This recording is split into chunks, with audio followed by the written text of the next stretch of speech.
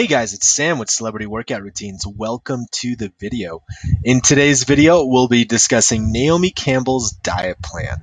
Before we get started though, just a quick note. If you do enjoy the video, really appreciate it if you could give the video a like or subscribe to my channel. Just gives me some great feedback on what type of videos to make in the future. Alright, let's get started then. Alright, so the best type of diet to get this type of physique is going to be a low carb diet, you know, since the goal here is to go for slender yet toned.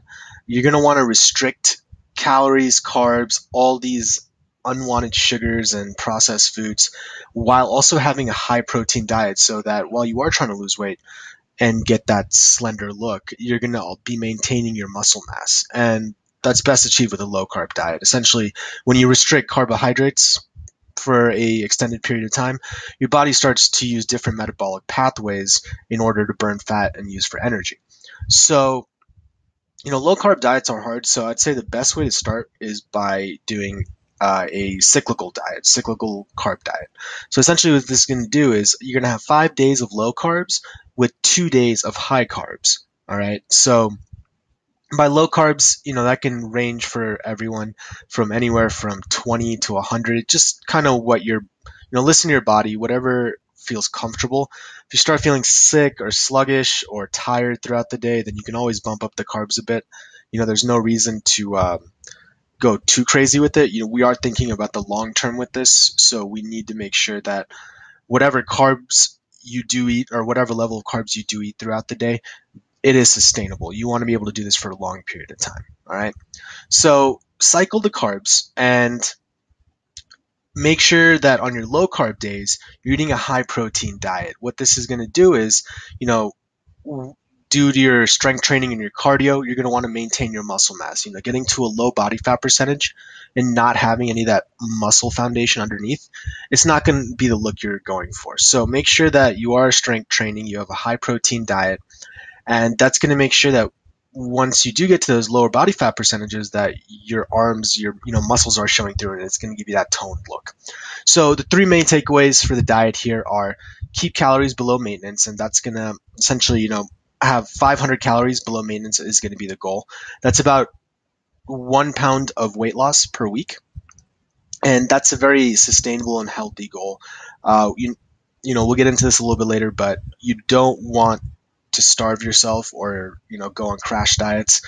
It, it, essentially, what happens with crash dieting is you might see weight loss for two weeks, but then as soon as you stop that crash diet, you're gonna rebound really hard. It's gonna come back and you're going to gain all that weight back and it's not going to be sustainable and you know you got to think about the long term the six seven eight months from now that's when you want to be you know be continue to see improvements at that time frame. So think about the long term, just keep it consistent and uh, make sure that you are losing an appropriate amount of weight each week.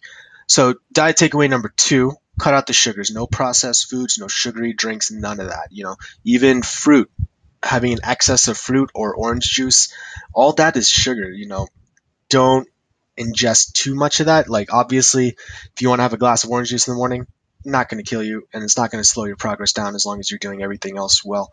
So, you know, obviously be smart about it, but make sure that you aren't, you know, getting a bulk of your calories from simple sugars and like no cokes, uh, drink water when possible, no candy, no junk food, no, nothing like that. Right?